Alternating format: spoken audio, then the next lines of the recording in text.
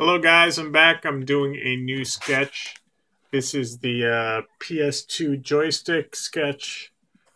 Looks like there's a um, an X pin, Y pin, an SW pin, and um, it's being logged into the uh, serial monitor, and then it's going to display the, the, the coordinates of the uh, of the joystick.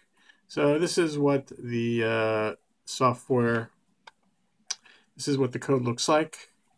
And then I'm going to show you the, um, the port. This is, I'll show you what the, the joystick looks like. So I'm making some things here, make, uh, moving it left and right. And if I press the button, you see that Z equals zero.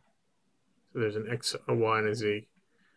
So when Z equals zero, I'm pressing the button and I'm pressing the X and Y um, coordinates here. And then I'll show you what the book looks like. This is lesson 20. How to use the uh, joystick.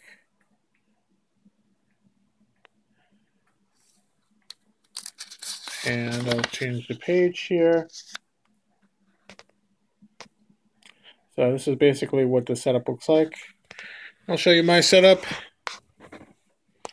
Once again, I have a uh, knockoff um, Uno board.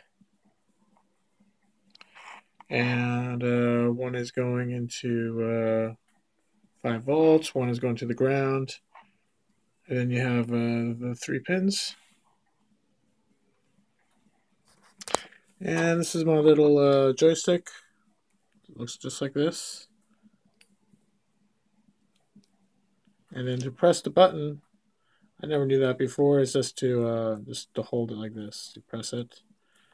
You can see that it says um, uh, Keyes S joystick. See what the back looks like. One, two, three, four, five. So two are for the uh, the power.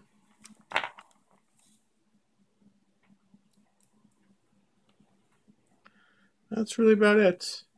Moving around, pressing on it, and then you can see up here when I press around or play with it, it's um, recording the movements. So thanks for watching this video.